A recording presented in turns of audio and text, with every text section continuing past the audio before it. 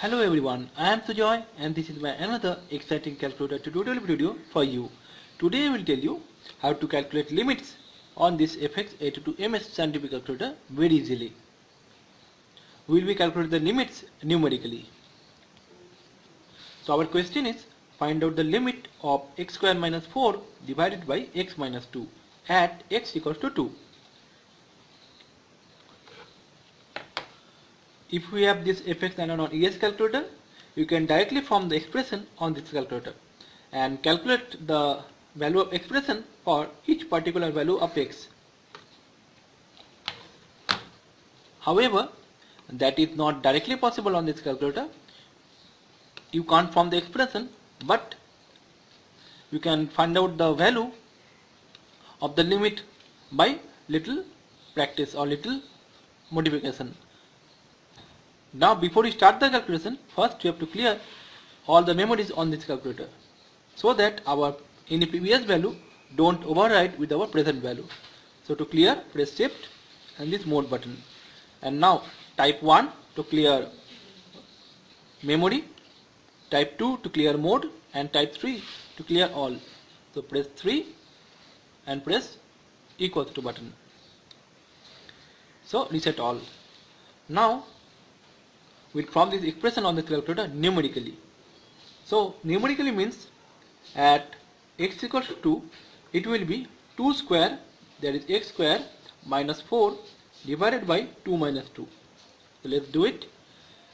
Left parenthesis again left parenthesis 2 square minus 4 parenthesis closed for the numerator or upper term divided by again parenthesis 2 minus 2 and parenthesis closed for the denominator or lower side and press equals to.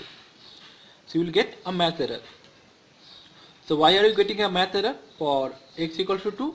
Because for x equals to 2 it will be 2 square that is 4 minus 4 that is 0 divided by 2 minus 2 is 0.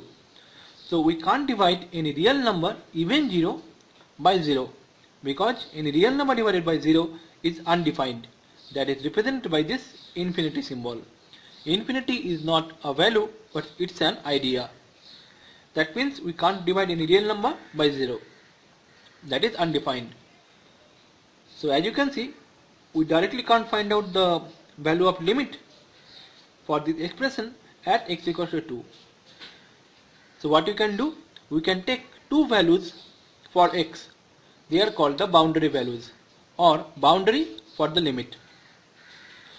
One value will be lower than the 2 which will be coming close to 2 and another value which is greater than 2 and again which will be coming close to 2.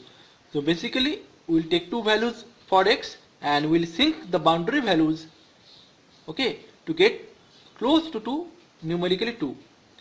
So by coming very close to 2 we can approximate the value for this limit at x equals to 2. We can't exactly find out the value at x equals to 2 because that is undefined but we can approximate the value by coming very close to 2. So let's do that. First we will calculate the left hand side limit. So we'll start from 0 and we'll increase the value to come very close to the 2 value.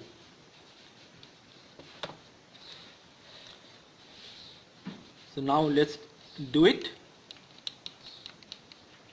The expression is already formed. You can use this expression. Just replace the value 2 with 0 because x is 0 now.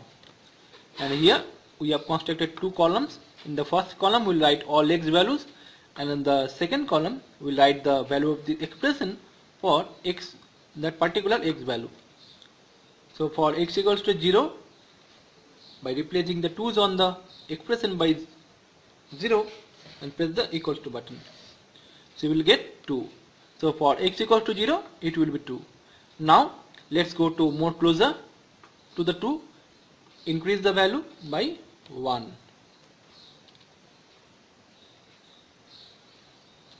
Press the equals to button. So for x equals to 1 it will be 3. Now go to very close to 2 let's take the value 1.99 now again you have to reform the expression because on this calculator if the width or magnitude of the value changes then you have to reform it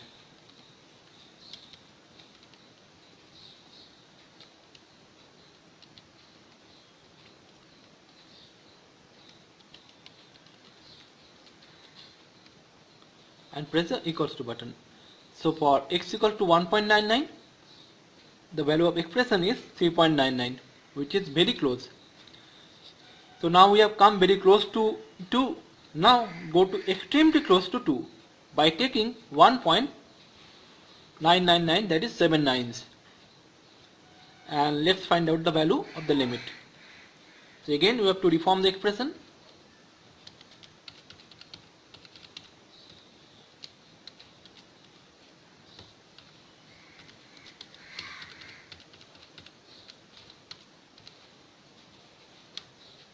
So as you can see, if we go extremely close to 2, the value of the limit will be 4. So we can approximately say for the value 1.79 the value of the limit is 4 which is very close to 2.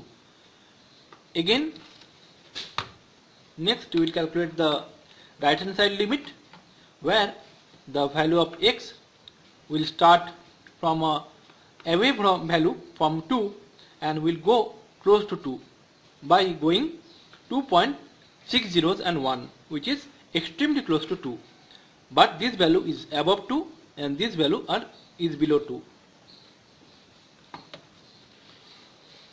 again reform the expression. Start with this value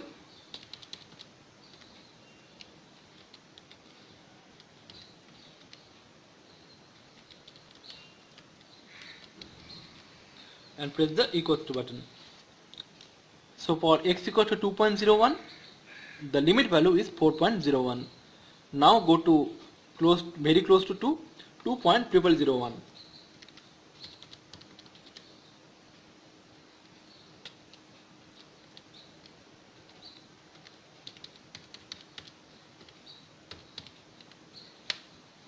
So as you can see if we go very close to 2 that is 2.0001 the value of the limit is also coming clo close to 4 now if we go to extremely close to 2 by taking the value 2.60 then 1 the value of the expression will be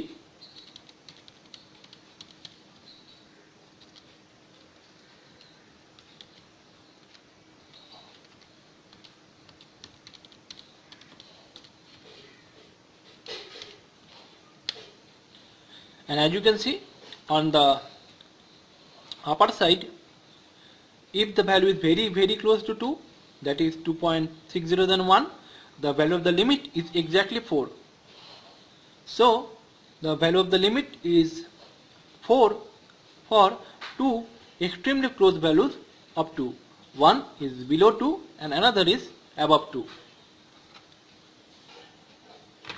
so since the left hand side limit and the right hand side limit both are equal to 4 for nearly close value of 2 we can say or we can approximately say the value of this limit will be equal to 4 for x equals to 2 and another thing to remember if we draw the curve for this expression you can see for the value x below 2 and x above 2 there is a particular value of y but at x equals to 2 at that exact moment there is not any exact value of y. That means there will be a hole on the graph. That represent this value is undefined. Let me show you that. Now I will plot the graph on FX9860GII calculator. So the expression is already formed on the calculator. Press the draw button so this is drawn, this is the actual curve. As you can see, it's nearly a straight line. As in here. And now you can see here is a hole on the graph. Let me trace the value.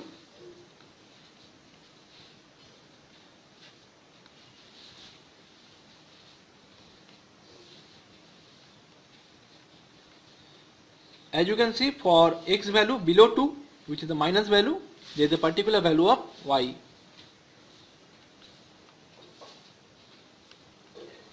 But at x equals to 2 the value of y is an error. That means it's an undefined.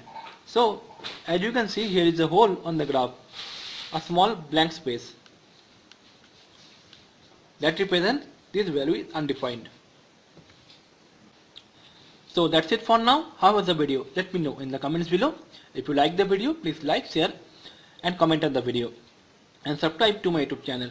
Your positive likes and comment really encourage me to make more quality videos. And you will be glad to know I have uploaded more than 55 videos on the FX82MS, FX991ES and FX9860GII graphing calculator to how to use the calculators to do maths easily. If you want to watch any of my previous videos, link to all of them is given in the video description below, so check them out. So thanks for watching. See you in my next video. And still then, stay connected by subscribing.